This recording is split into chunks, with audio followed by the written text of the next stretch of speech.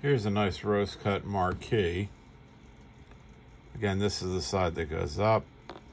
Got some nice sparkle.